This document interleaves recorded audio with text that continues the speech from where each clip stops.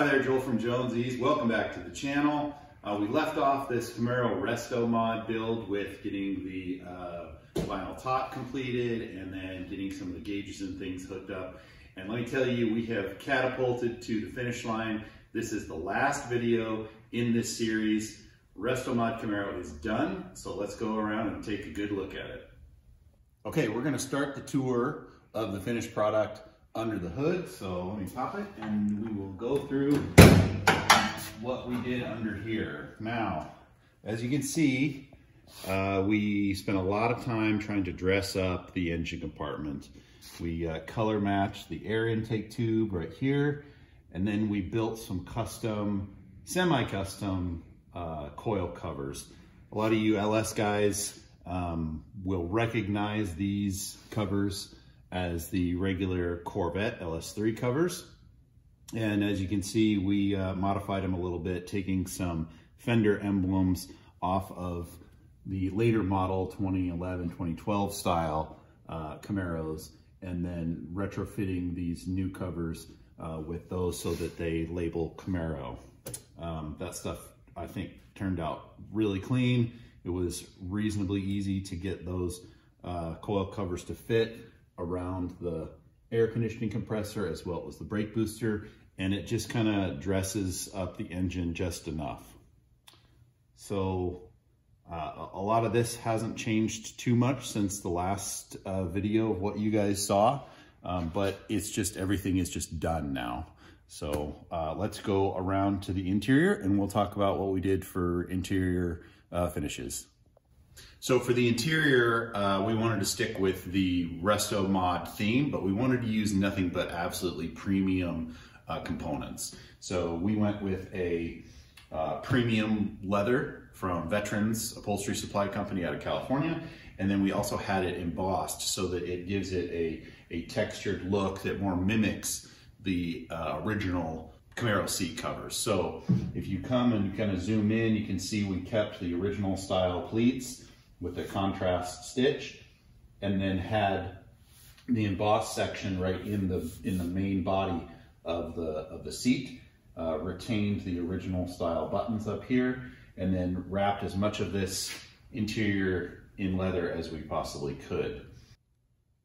So if you come in and look really closely, you can see we used a contrast stitch right here that is more of a gold uh, tone. I didn't want the stitching to really, really stand out like a yellow or a green. And so we went with kind of a, a brown gold tone, which I think picks up the exterior color really well. And now you can also see that it's uh, it's got the perforations, which is really nice. Now, if we move over to the center console, this was the original automatic center console, and we had to cut a big hole in the middle for our shifter. And so we just built a filler panel right there and then wrapped it in leather as well.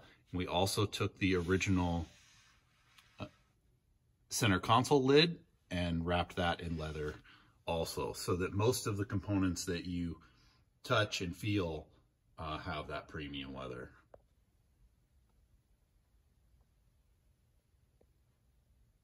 So for the back seats, we uh, duplicated the same as the front, uh, keeping the perforated and embossed leather center inserts and the contrast stitch.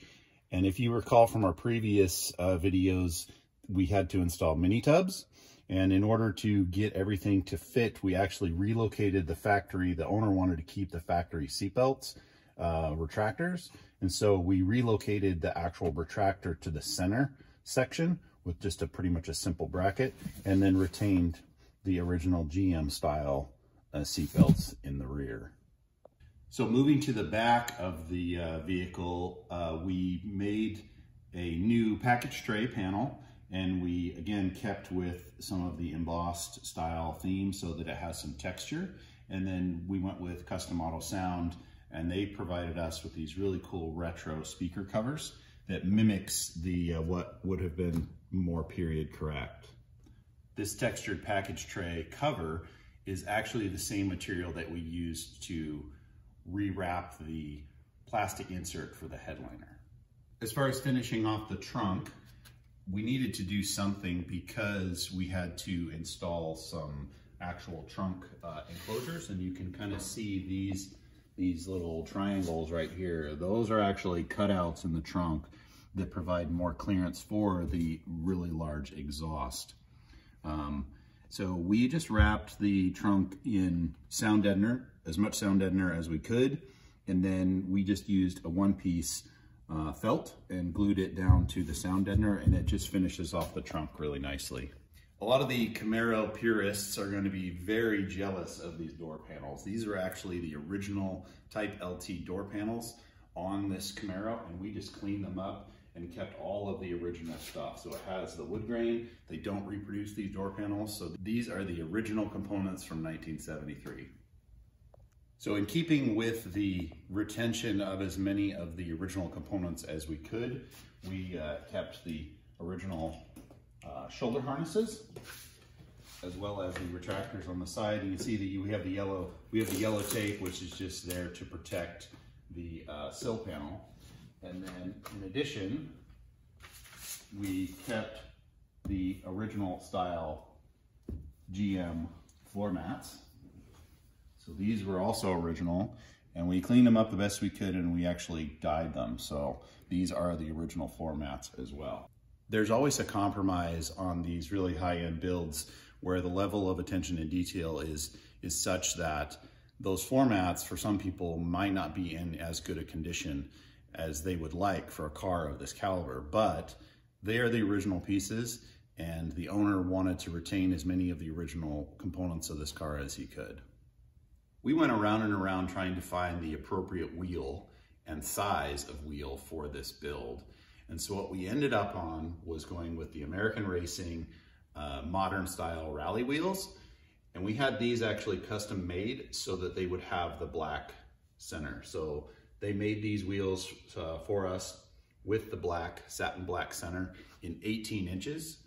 And so the front and rear are both 18 inches. The rear is an 18 by 10 with a 295 wide tire. And the fronts are an 18 by 8 wheel with the appropriate offset. We did end up having to run a spacer in the back in order to get the offset to be absolutely perfect. We struggled with trying to find the widest tire we could for the rear. Again, these are 18 by 10s with a half inch wheel spacer so that it fits in here really well. Now these are 295, 45, 18s, and we could actually fit a 315 and a slightly wider wheel. Again, we had these custom made, so we wanted to make sure that they were 100% going to fit. And the way this car is going to be used, a 295 is more than sufficient. Okay, now let's take a tour underneath the car and you guys can see the Art Morrison chassis, the Detroit Speed 4 Link, all of the plumbing, and then what all the other mechanicals look like underneath.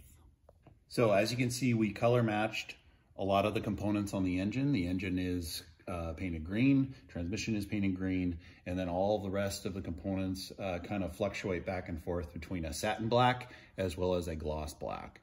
I can't give enough praise to Art Morrison for how well this subframe fits and how well everything turned out on this build in terms of their components. Like it just worked really, really well. Everything fit really well. The wheel alignment shop was very, very satisfied with the uh, initial setup that they had in terms of where the rack was centered and all of those different components as well as the coilover. So big thanks to Art Morrison for supplying such a really good product. No, this is not a sponsored video. We, uh, the owner paid good money for good quality uh, components. Um, but if Art Morrison wants to sponsor a video, we'd be more than happy to oblige. So let's go uh, move to the rear. You can see the exhaust. We had to kind of modify the exhaust so that it would work with the um, manifolds that we ran. So we have two and a half inch pipes into the three inch uh, Hooker Blackheart system. Uh, again, I alluded to some of this work in the previous a video, we had to actually section this stuff so that these tubes would center up correctly in the Art Morrison subframe. Here you can see how we modified the original Camaro cable so that it would work with the aftermarket Wilwood disc brake kit. So moving to the back, this is where things get really, really crowded. So we went with a reasonably small sway bar for the Detroit Speed QuadraLink setup. And let me tell you, when you're driving, this vehicle has no body roll whatsoever. It is extraordinarily tight. When you accelerate, it doesn't squat. And the suspension on this, on this vehicle just works absolutely wonderfully. Currie supplied us with the uh, rear differential that was already set up complete with the Detroit Speed uh, QuadraLink bracketry. And all of those components fit and went together really, really well. So for the fuel system plumbing, we went with an aftermarket tank from Tanks, and then we plumbed it into the regular style LS regulator and filter assembly right there at the top, mounted it up as high as we possibly could. And here you can see how ridiculously tight all of these components are with the exhaust. Now that I've given you guys the walk around tour, we've gone through the car front to back, it's time for the money shot, which is startup and test drive.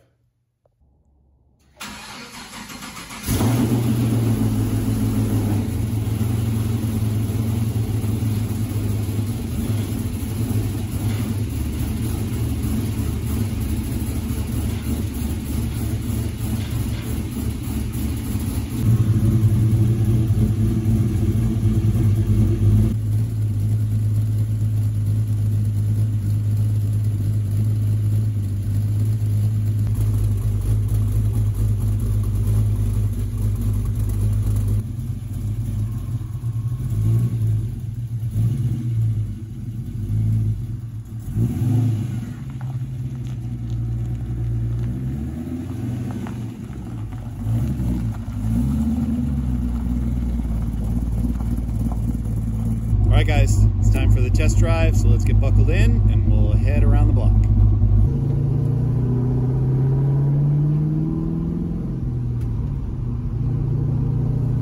I will let the Camaro get warmed up. Um, I'll talk a little bit about the Dakota Digital gauges.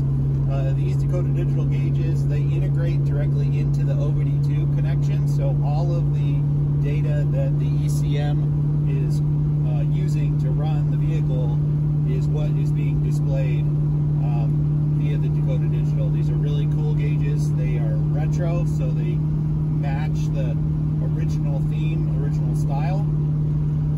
Um, one thing that I kind of wish we would have been able to do is retain the wood grain on the instrument panel. Unfortunately, the original one just was not uh, was not in good enough shape, and so we had to go with the aftermarket replacement uh, gauge bezel. So this car is just absolutely a blast to drive. The shifter for the TR6060 is perfect placement with that offset bracketry that we got from Siki. Um, the Hurst T-handle feels really well. It's very comfortable.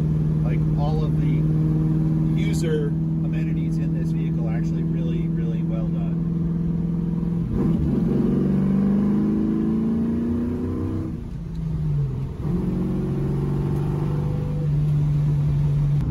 The uh, exhaust has a very strong aggressive tone. It does have a little bit of resonance inside the uh, cockpit here, um, but it's not that offensive.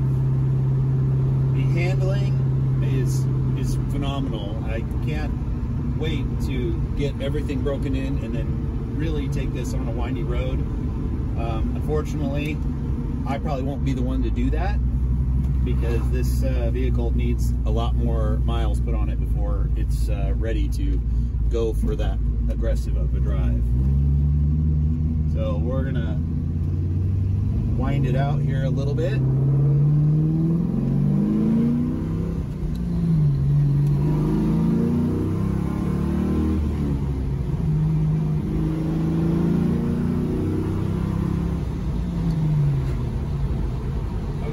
About 4,500 RPMs Um, again, this thing has probably a 6,500 RPM redline. There's a lot more uh, power there, but you know, I don't want to be the one that uh, breaks the new toy. So we're gonna be conservative on our test drive here.